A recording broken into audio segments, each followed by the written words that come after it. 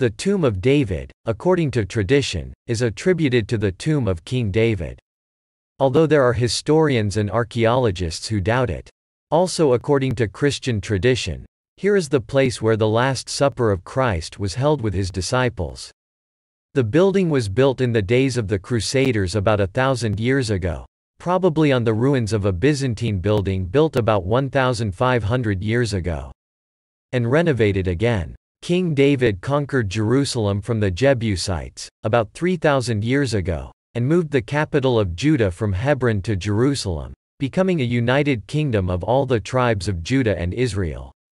King David is best known for his Book of Psalms, a collection of prayer hymns expressing man's connection with God. Therefore Jewish prayer is full of chapters of Psalms.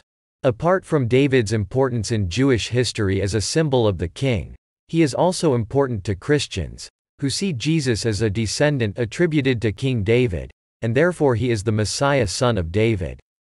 And in Christian tradition and prayer the Psalms take an important part.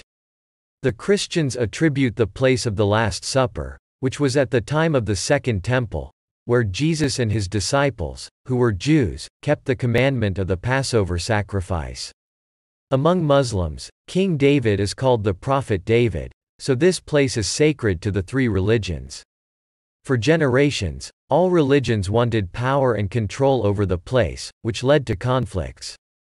After the establishment of the State of Israel, it holds the place, and gives freedom to believers of all religions, but still the conflicts and demands of ownership are not over.